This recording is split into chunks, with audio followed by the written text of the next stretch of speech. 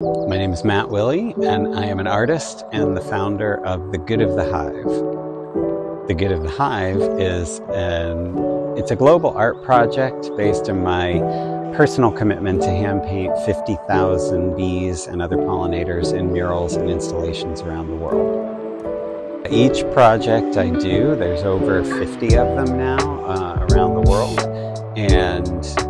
each place I consider a participant in the global project. So the mural here at Brookgreen will be like a brushstroke in the bigger piece.